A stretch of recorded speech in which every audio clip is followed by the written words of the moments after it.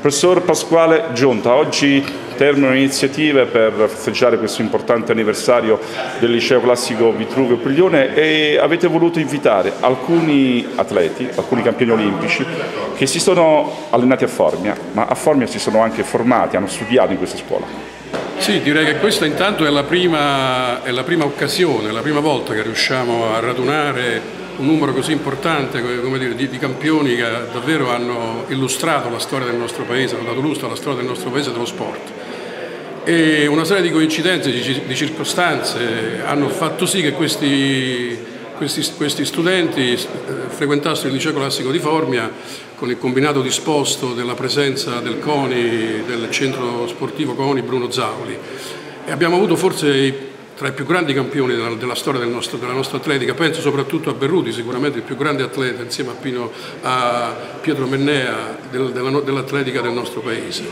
che appunto vinse la medaglia d'oro dei 200 metri piani nel 1960 a Roma, lo voglio ricordare, lo voglio sottolineare, davanti a tre, a tre velocisti afroamericani quindi che detenevano da sempre dire, i record di questo tipo di specialità. E niente, quindi questo intanto è l'ultimo passo, corona un po' tutti i festeggiamenti per il novantesimo, noi abbiamo avuto quest'anno, anzi dall'anno scorso, con la presenza della Marco Longo che ha presentato il suo libro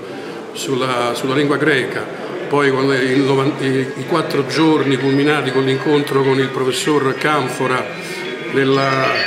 con il professor Canfora nella palestra del liceo, abbiamo avuto una serie di appuntamenti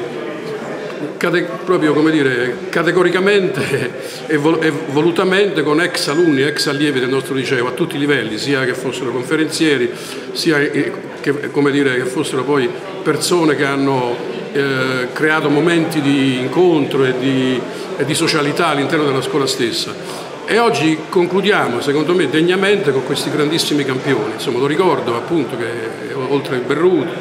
Giorgio Mazza, grande ostacolista, Eddie Ottoz, anch'egli medaglia di bronzo alle Olimpiadi del Messico del 68, Giuseppe Gentili, un personaggio polietrico, davvero estroso, che ha fatto anche l'attore. E quindi mi pare che degnissimamente noi concludiamo questa, questa, questo percorso di un intero anno che mette in luce ancora una volta che questa scuola non è stata soltanto fucina di grandi professionisti, intellettuali, studiosi, ma anche di grandi atleti e posso dirlo così forse peccando un po' di retorica, credo che il rigore degli studi classici sia stato linfa per loro anche per il rigore del, del, loro, del, dei loro allenamenti, del loro addestrarsi, del loro training quotidiano nelle discipline sportive in cui sono eccelsi. E lo hanno detto, l'hanno detto sia Eddie Otoz, cioè. questa scuola ci ha aiutato, ci ha formato, questo rigore di cui tu parlavi ci ha anche consentito di superare anche momenti di difficoltà negli allenamenti e poi nelle gare vere e proprie. Devo dire che per me è stata anche una scoperta in parte. Io, io ho fatto il liceo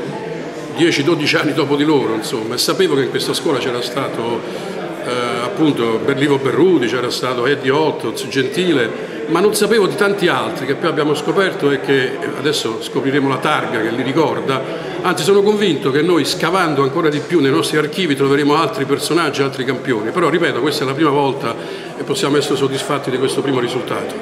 Grazie.